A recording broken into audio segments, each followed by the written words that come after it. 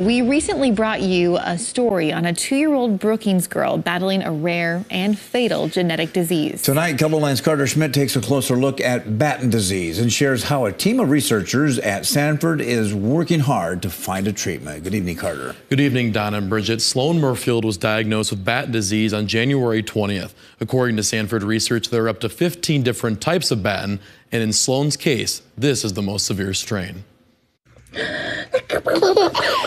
The news of little Sloan's diagnosis was devastating. This is not something we were expecting. Um, obviously, we knew there was something wrong, and we were very concerned just because of how fast she was regressing with things.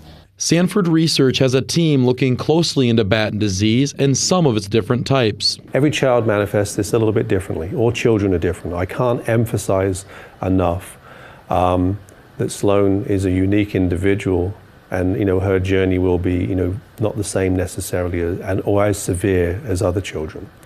We still don't know as much as we need to know about this disease. Sanford Research President David Pearce says Batten disease is a group of different diseases where a genetic defect affects the brain. Brain cells don't communicate effectively.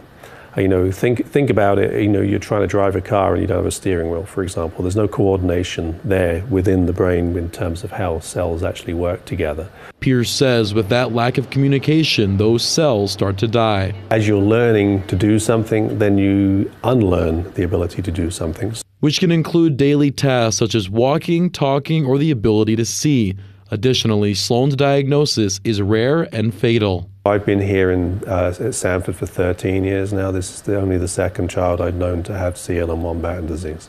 Melissa Pratt is a supervisor and project manager in the Weimer Lab at Sanford Research. She says they have clinical trials for treatments and therapies for some forms of Batten. For CLN1 in particular, we are unfortunately a ways away from the clinic, but uh, we are making strides and we are working every day to find something that's going to help. Pratt says hearing news of a Batten diagnosis drives the team to keep looking for answers. We are also in it for um, helping the patients. Like we like to see our work translate, and we are always devastated every time we hear of a new child with Batten disease. We involve ourselves with the families. We get involved with their foundations. We know these kids, and um, so it's it's always heartbreaking.